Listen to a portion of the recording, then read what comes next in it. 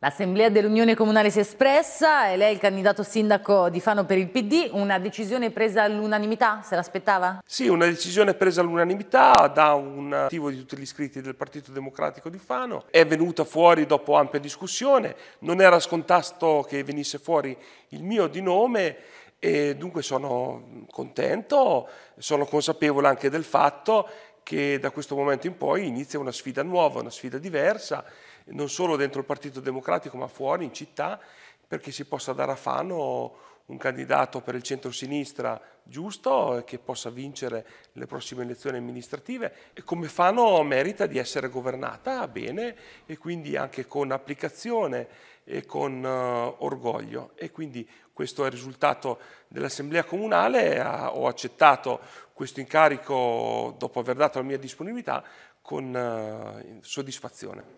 È un'esperienza da assessore all'urbanistica, soprattutto da vice sindaco, per cui immagino che il percorso futuro sia anche in continuità con il lavoro svolto sino ad oggi. Il mio percorso è molto chiaro, netto, eh, sono stato segretario del PD, eh, sono stato capogruppo nel Partito Democratico all'opposizione delle giunte precedenti,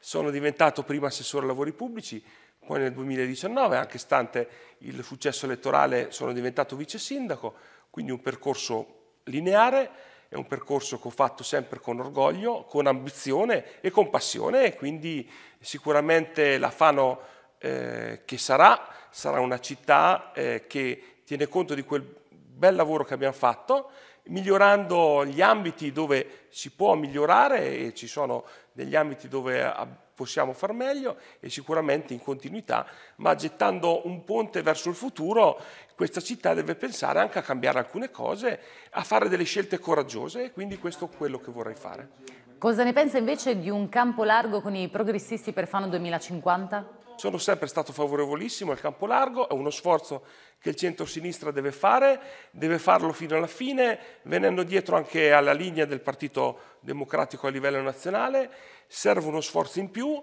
eh, da parte nostra, ma anche da parte di questo campo progressista che certamente si deve mettere insieme al centro-sinistra classico per eh, opporsi a un vento di destra